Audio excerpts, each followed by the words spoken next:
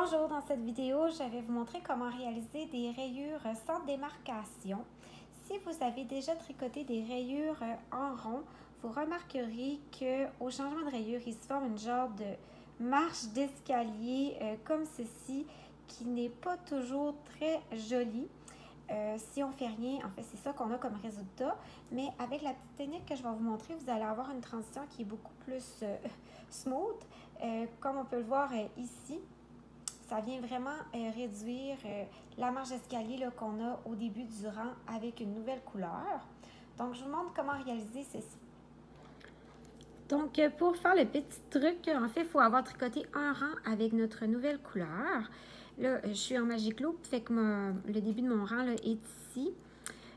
donc, une fois qu'on a tricoté un rang avec la nouvelle couleur, qui moi c'est le, beige ici, ce qu'on va faire, c'est qu'on va venir prendre la maille du rang précédent, qui est avec l'autre couleur, donc la maille rose ici. Je vais venir prendre le premier, on voit le petit V qui forme la maille, on va venir prendre la première patte du V et on va revenir la placer sur notre aiguille ici comme ceci. Puis on va venir tricoter ces deux mailles-là ensemble,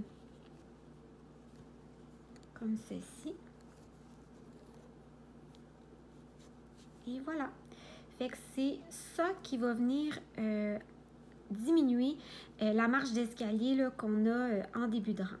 Fait que dans le fond, ça, vous allez répéter ça à chaque deuxième rang que vous réalisez avec une nouvelle couleur. Puis, c'est ça qui va venir améliorer l'aspect de vos rayures. Un autre petit conseil que je peux vous donner, c'est de euh, couper votre fil entre chaque rayure. Je sais que souvent on a tendance à vouloir les faire suivre pour venir avoir moins de fil à rentrer, mais ça l'aide vraiment beaucoup aussi à diminuer la petite marge d'escalier en début de rang. Euh, je sais que ça demande plus de finition à la fin. Comme je vous dis, c'est vraiment pas obligatoire, mais si vous voulez avoir euh, les rayures les plus belles possibles, c'est un autre petit conseil que je peux vous donner de couper le fil à chaque rayure.